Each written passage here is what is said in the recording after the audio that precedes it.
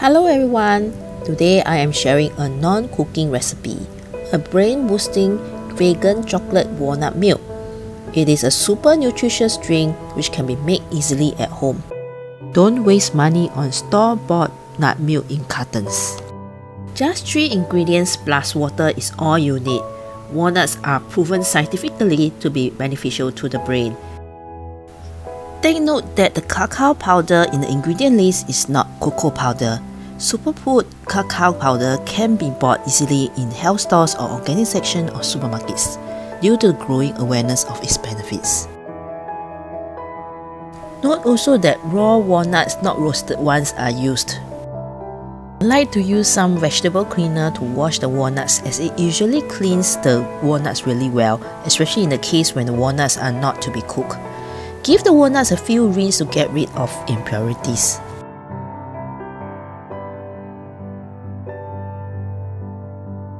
boil filtered water. The water level should be at least 1 to 1.5 inches above the walnuts as the walnuts will puff up slightly. Soak between 8 to 12 hours. Look, the walnuts are nicely puffed up. Drain the water away.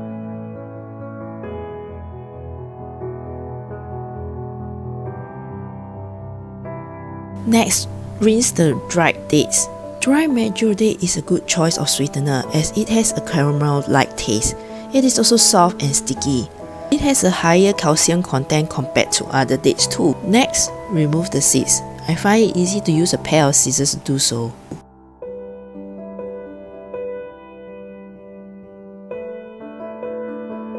To set up milking station, you will need to prepare a nut milk bag and gather all the ingredients you need.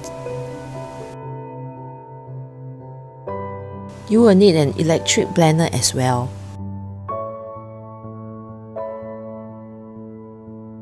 Measure the amount of filtered water required and add into the blender with the walnuts.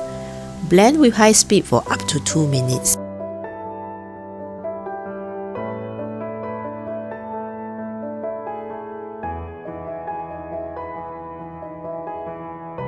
Pour a small portion of mixture into the milk bag with a container below. Use one hand and start squeezing until all the milk is extracted.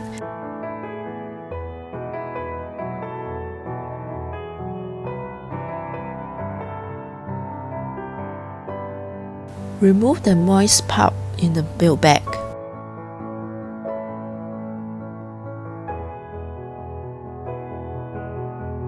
Repeat this process until all the mixture is melted. You can either discard the nut pulp or dry the pulp in the oven to make into walnut flour for baking. Now for the final step.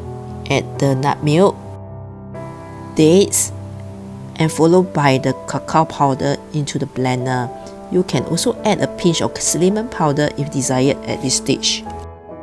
Blend for 30 seconds or until all the dates are nicely blended into the milk. Voila, it is done now. Mmm, delicious foamy chocolatey walnut milk. Enjoy it immediately or chill in the fridge and enjoy later. Thank you for watching. To receive notifications for more creative and simple home cooked food, please subscribe to my channel.